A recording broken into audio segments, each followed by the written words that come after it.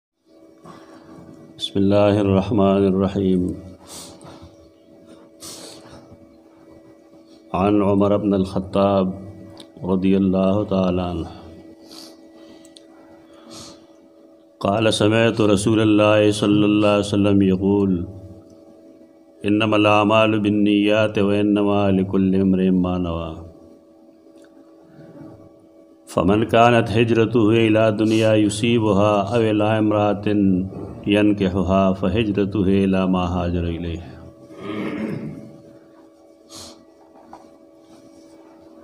علماء کرام په دې کې د محدثینو یو ډېر لوی حیثیت دی محدث هغه چاته وي چې هغه د رسول الله صلی الله علیه وسلم دا حدیث د پاره تکالیف برداشت کړي مختلفو علاقو ته تللی او د مختلفو استادانو نه د نبی کریم صلی الله علیه وسلم حدیثونه سند سرز دکړي امام بخاری او امام مسلم رحمهم الله تعالی دا د امت کې د حدیث لحاظ سره ډېر لوی نمونه دي امام بخاری او امام مسلم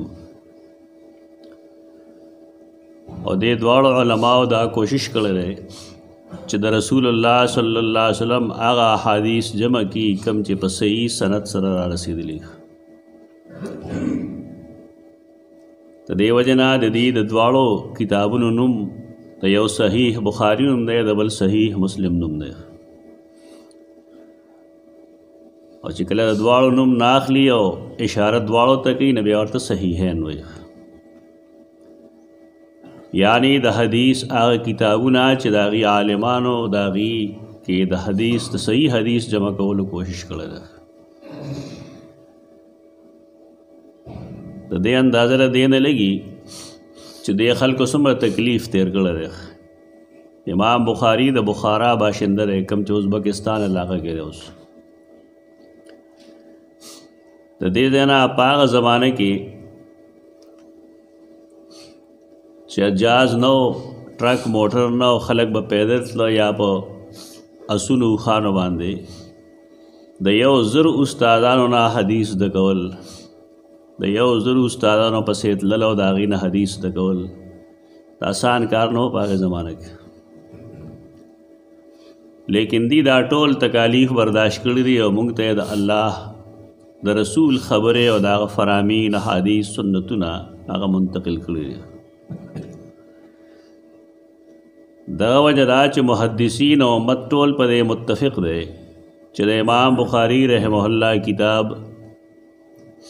د قران مجید نرستو دویمه درجه کې دا غیر صحت درجه ده دا دواړه کتابونه غټ غټ کتابونه دي په زرګا او حدیث دی بګه اراده زمونږ دا چې را دې کې یو صحیح کتاب شروع کړی شي بیا په دې کې بعضې داسې مسایلي چې هغه د عوامو د فهم نه بالاتري نه پوهېږي به ټایم هم دا وخت کمی دا سور وځي چې مونږه غلیو نو دای وجه دا وا چې د سلسله کې د یو مختصر کتاب انتخاب پکارو او کتاب هم داسې چې پای کې د صحیح روایتونو جمع یې لکه څومره چې یو سیز قیمتي دومره پای کې ملاوت ډیر کیږي احادیث د رسول الله صلی الله علیه وسلم ډیر قیمتي دي په دې وجه دی کې ډیرو خلکو ملاوټونه هم کړی دي سخپلوانو کړی دي سو دشمنانو کړی دي سبي دین خلکو کړی دي دې د پاره چې د اسلام مخ بدنام کړی شي کله چې مونږ یو حدیث باره کې سرای ورکو چې دا داسې دی دا داسې دی دا غي مطلب دا نه چې مونږ د حدیث انکار کوو مونږ هغه ملاوت لري هو دا غینا چې دا ملاوت ول روایت ماخله او دا یوازې مونږ نه کوو بلکې دا د نبی کریم صلی الله علیه وسلم د زمانه پسې متصل صحابه کرام هم دا سکړي دي تابعین هم کړي دي تبع تابعین هم کړي دي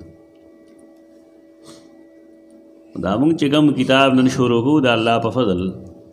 دیتا لؤلؤ والمرجان وایي لولو مرجان ملغلری دي غټه ملغلره وړه ملغلره کتاب نوم یې دغه دی وړې غټې ملغلرې فیما اتفق علیه شیخان دا احادیثو په کوم باندې چې شیخین دو استادان امام بخاری او امام مسلم متفق دي یعنی دې کتاب کې هغه حدیثونه جمع کړی دي چې هغه صحیح بخاری او صحیح مسلم دواړو کې د یو صحابي نه نقل دي دغه ته وی متفقون علیه نو دول دې له سره دا د صحت اعلی درجه والا کتاب شو دغه کلو نه موږ بیغه مکړیو په دې کې دا لومبنه حدیث تاسو تقریبا 2 درې ځله اوریدل دی ترغیب و ترهیب کې ما اورېدل دی دارنګ اربعین نووي کې ما اورېدل دی خدا بیا دې لپاره وایو چې مونږ ځان کې اخلاص پیدا کو یو سړی دین تکینی دین خی دین زده کوي نو پکار دای چې دا غ نیت او اراده صفایي که زه بیانوم نو زما دا مطلب نه چې زه خلق ته خپل علم ښکار کوم او که تاسو اورئ نو دا مطلب به نه چې ګنې تاسو په ما څه احسان وکړو زم د خپل ښه مستقبل لپاره د آخرت لپاره کوشش کوم چې ما نه الله رضا شي او تاسو هم دا کوشش کوئ چې دین هم زده کوئ او د الله او د هغه د رسول د رضا یې کوشش وکړئ دا اراده پکار ده او نیکه پکار ده په دې کې په چا تنقید کول په چا الزام کول هم نه مطلب خدا له چې کله حدیث بیانېږي او څه بعضې خلک د هغې خلاف کار کوي نو مونږ نشاندهي وکړو صرف چې بعضې خلک داسې کوي او بعضې داسې کوي دا ضروري ده د ویښولو نه بغیر کار نه کېږي د نیت اصلاح چې کوم دی دا ضروری ده امام بخاری رحمه الله هم په خپل صحیح کې د باب نمخ کې مخ کې دا حدیث لیکل دی دا غړم باندې کتاب خو بدل وحی دی لیکن دا غې نمخ کې هغه د نیت د اصلاح حدیث لیکل دی او دې لپاره لیکل دی چې څوک حدیث دګي حدیث اوري نو یو خو دا چې هغه د اخلاص په اراده ووري ریاکاری دی نه مطلب او بل دا دا چې د بل تا د رسولو په اراده دی ووري چې دا حدیث اوس د کوم نو کم سے کم یو کس ته به رسوم که الفاظ ما ته نه یاد ناغه زمون بازیرونه ساده دي عوام دي ناغي وي د نبی کریم صلی الله علیه وسلم د حدیث مفهوم دی چې خبره داسې ده دا احتیاط ته پکار داري چې دغه شانته ویل شي حدیث چاته پوره نه یاد مطلب یې پوره نه یاد ناغه وی د یو حدیث مفهوم دی مفهوم مطلب ته وي ودا ذمہ داری ده پرون یو کتاب ما کوت نه پې کې هغه لیکلو چې محدثین چې ګمدي دا همیشه د پاره د دې عمرونه هم ډېریخ او د محدثینو رنگ روغن باډي ماډیم ډېره مزیدار ښکلی د بیمارو حمله په نسبتا کمی دا ولې نو محدث جواب کړي چې اصل کې رسول الله صلی الله علیه وسلم یو دعا کړې ده هغه دعا هغه خلکو ته کړې ده چې حدیث خي او دعا یې هغه خلکو ته کړې ده چې هغه حدیث اوري او په دې نیت یې اوري چې مونږ به بل چا ته رسو نظر الله عمران الله له خوشاله او تر تازه ساتي هغه څوک چې هغه زما حدیث اوري بیا زما حدیث زود کی وعاها زودی کی او هغه سي زود کی څنګه چې اوریدلی ځان پکې ملاوت نه کوي او بیا ادا کی ویرسی هغه چاته چې هغه نه یوریدل نو دې موږ ته کسان بیان کړل یو خو خودون کړي دا غم چې کله اراده نه کوي خبره ټیک ده او دا اوریدون کې ذمہ داری دارا چې هغه د از د کول په خاطر ووري د یادولو په خاطر ووري او په دې خاطر ووري چې کم سے کم زوی کور کې هو وې مقبل چا د نشم ویل خپلې بچی ته لور ته به ویم خپل ځامنو ته به ویم خپل کورواله ته به ویم او که یو سړی کې توفیقی چې هغه گاونډي ته ووري جمعات کې هم چاته وایي دا دعا د تازه کې د الله رسول صلی الله علیه وسلم دا خلق د پاره کړی دا چې هغه حدیث سره څه تعلق لري دا حدیث کوم چې مونږ لومبه وایو دا سیدنا عمر بن خطاب رضی الله تعالی عنہ روایت دا روایت باغه د منبر د پاسه بیانو صحابه کرامو کې دا واحد صحابي دی چې دا حدیث د نبی کریم صلی الله علیه وسلم نقل کړی بل صحابي نه نقل کړی نور چا که نقل کړی نه هغوی د سیدنا عمر نه اورېدلی نو بیان کړی دی بعضې احادیث داسې وي چې په صحابه کرامو کې د هغې نقل کوونکی یو صحابي لیکن صحابه کرام ټول عادل دي منصف دي رښتیني دي په دې وجه دا وسړی نه وي چې یو صحابي دی صحابه او نخکته خلک وګورو بیا چې دوه دې درې دې که څو دي صحابي که یو هم دی او سړی یې پرېږده که زنانه هم وي خو چې صحابي وي او هغه دا وایي چې ما د نبي کریم صلی الله علیه وسلم دا اورېدلي دي نو هغې ته به حدیث ویلی شي ځکه صحابه زما ستا غوندې خلق نه دی نو سیدنا عمر فرمایي ما د رسول الله صلی الله علیه وسلم نه اورېدلي دي ده فرمایل چې انما الاعمال بالنیات د عملونو بدلا دا په ارادو باندې ده عمل څه ته وایي دلته کې دنیایي اعمال نه یادوي دلته د دین عمل یادوي د دین د هر عمل بدل د هغې په اراده باندې ده یو سړی حج کوي زړه کې دا اراده ده چې زه خلکو کې ښه مشهور شم نیک مشهور شم او خلک ما ته حاجي صاحب وي او مال احترام راکړي دا اراده ده دا نیت ده په دې نیت او اراده باندې انسان نه پوهېږي هغه انسان په پوهېږي چا چې دا اراده کړي مخلوق نه پويږي په دې خالق په دې باندې پويږي او د نیتونو نه الله عالم دی د نیت مطابق الله کار کوي بیا دنیا کې به بشک د خه مشهور شي نیک به مشهور شي لیکن آخرت کې د دې حج یا د بل څه عمل چې په دې را دی کړي دا یې ساجر نشته دا یې وجه دارا چې د نیت خرابې تا شرک اصغر وایي ریاکارې د شرک اصغر وای دا ورکوټ شرک دی حدیث کرا دی رسول الله صلی الله علیه وسلم فرمایي الله تعالی فرمایلی دی چا چې یو داسې عمل کو چې هغه کې اراده د خود نه وا د ریا وا نو دې سړی شرک کړي او بل حدیث کرا دی چې داسې کار یو سړی وکړي نو ترکته و شرکه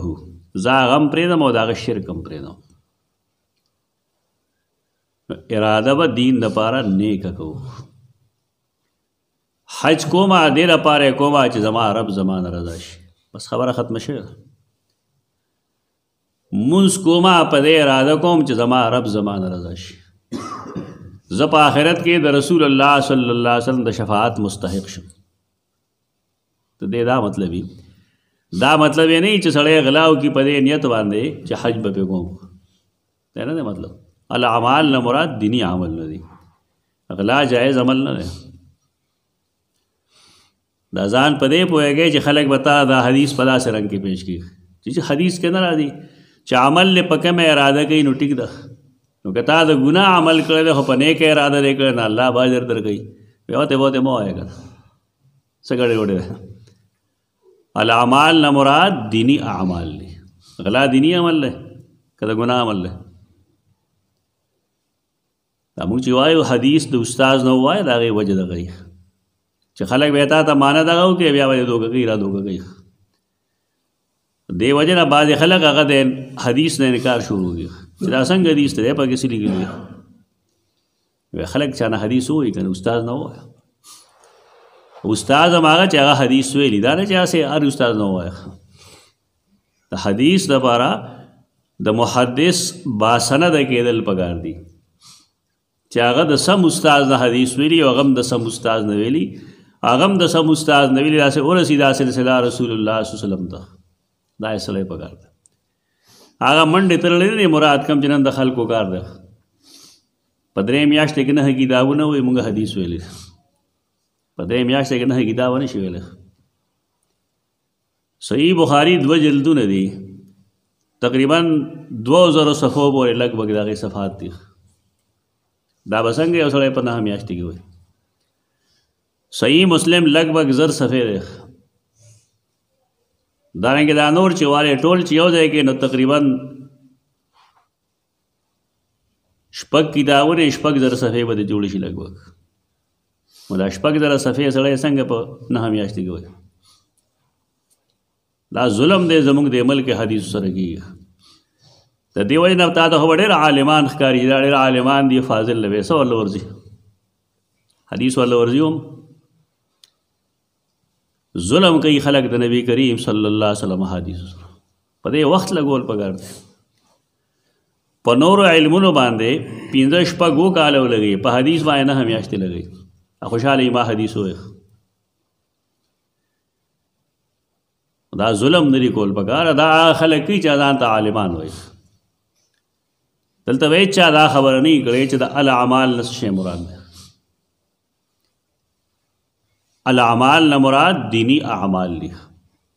د ثواب اعمال دي هغه چې الله په هغه باندې اجر ورکوي نو هغه اعمال په ارادو باندې دي هغه زمونږ عبادت دي کاغه بدني کاغه مالی کاغه حجي کا قرباني هر یو سیز با د الله د رضا په خاطر خو د خلکو اراده د عمل لخکاری کنه جماعت کې ویل سو روپې ورکړي نو بیا بچاته یې لګه دا کار دی ولې کړل او دا چل ولې کړل او ته دا سه مکه وخ ته دې مطلب دا چې تر جماعت اختیار ونه شو خپل دایره کې اوسېږي جماعت جوړ کا د جماعت خدمت کوا صفائی کوا سترائی کوا اجر د الله نه دا نه مطلب چې د جماعت سو خدمت کې د جماعت مالک شو یا د ته وزر یو لګی دی اس وزر نه لګیدل طهرا بیت ی للطائفین والعاکفین والرکع السجود دا پاک ساتل بګاری لیکن ثواب بسوک ور گئی الله ور گئی خپل عمل نه دا څنګه ثابت دی چې دا څه کوم دا څه کوم کاوه کنه ځان لګې خلق له نه کې او کې اراده دا شي چې خلق له کوم نو بیا ساجر نشته رخ وانما لكل امرئ ما نوا یقینا د هر یو سړي د پاره هغه سدي چې د اراده کړی د اراده نه زو ته خبري وو الله خبري یو سړی اراده د نیک عمل وکړه چې مال دې الله اجر راکړي الله به اجر ورکړي او که دې اراده دا وشي چې خلق دې ما ته خسړې وي نه خلق ورته خسړې وي لیکن الله ورته نه وایي الله ورته نه وایي خسړې ځکه د په اراده کې اخلاص کې کوټ کړل بنگارې ملو کړې دي کوټ بنگارې ملو کړې دي په عملونو کې د ټول نه لوی عمل په هغه زمانه کې هجرت و وسم چې کله مسلمانانو ته د هغې په علاقو کې د دین چلول مشکل شي نه هغې باندې هجرت فرض شي دغه لحاظ سره دا افضل عمل دی نو که یو سړی هجرت د دنیا د پاره کړي چې زه هجرت کوم پاکستان ته دې د پاره چې هلته کې فلانې شی ملاویږي فلانې شی ملاویږي یعنی نیت یې دا نه چې زه خپل دین بچ کوم یا چرته د یو خزه د پاره چې خزه سره تعلق دی بل فرض یا الته خزه ملاویږي بے پیسو ملاویږي یا خزه خکلی دي دا مثال نه ورګي یو سړی د هجرت د دې د پاره گئی چې ما ته پیسې ملوش یا هجرت د دې د پاره گئی چې خزه سر نکاح وکم دا دواړه دنیایي ارادي دي قران مجید خو فرمایي هجرت وسره پاره ال الله دا الله د رضا لپاره دا خو دین عمل دی نو که سړی د هجرت غوندا نیک عمل د خځې د پاره کوي یا دنیا د پاره کوي فهجرته الی ما هاجر الیه نو د هجرت دا غسیز د پاره دی کم د پاره چې د هجرت کړی مطلب دا دی چې الله د نه رضا کی لوی لوی اعمال هغه برباد پدې باندې شي چې انسان پې کې د نیت اخلاص پرې خره حدیث کرا دي ډېر عالمان به الله جهنم ته بوزي ډېر د قران قاریان به جهنم ته ځي دوی به یې رب تاسو له جهنم ته راوست ما اوستا کتاب یاد کړو هغه تا مال نه یاد کړو استغفر الله الذي لا اله الا هو من كل ذنب واتوب اليه نعوذ بالله من الفتن ما ظهر منها وما بطن د خپل زړه هر وخت نگرانی کوي دغه چرته غلط اراده را نشي ورنه د قران غوندې حافظ د قران مجید کتاب غوندې حافظ الله غي یکبو ور کې به پړ مخه ورځي اولی ورته وی تا چې د صدا پاره وی نو هغه تا ته ویل شي تا خو دې دا پاره وی چې خلک وی چې خه قاری دی خه حافظ دی پنیت خو الله پویږي نو تا ته هغه ویل شو قد قیل لك دا الله په لار کې جهاد څومره لوی عمل لخ سړی چې مړ شي نو قران فرمایي د عام مړو غوندې مګنه ملحیان بلکې ای خوشاله دي تر تازه دي رب سره دي رزق ولا ورکول شي لیکن چې کله یو سړی جهاد په دې نیت کړي چې خلق ما ته بادر وي رسول الله صلی الله علیه وسلم فرمایي مجاهد بم پر مخه ورځي جهنم هغه وی چې رب ستاره پاره خو ما دا کړو دا کړو هغه وی تا خو دې را پاره کول چې خلق تا ته بوزدل نه وي بهادر درته وي وقت قیل لك تا دا ویل شي دلته یو بل خبره هم ځکه کله به د یو سړي اراده دا نه چې خلک دې ماته ښه سړی ووایي خو خلک هغه ته ښه سړی ووایي دلته دغه نه مطلب دلته هغه سړی دی چې د هغه اراده دا ده چې خلک دې ماته عالم فاضل قاری مجاهد ووایي د خلکو د وینا نه خبره نه ده د ده په اراده ډیپینډ کوي چې د څه اراده کړې نو دی اللولو والمرجان کې محمد فواد عبدالباقی رحمت الله تعالی علیه موږ دا د امام بخاری او د امام مسلم د دواړو هغه حدیث جمع کړی دي چې ته متفقون علیه وی چې د یو صحابي نه هغه نقلی یې دواړو کې سند کې آخري صحابي یې وی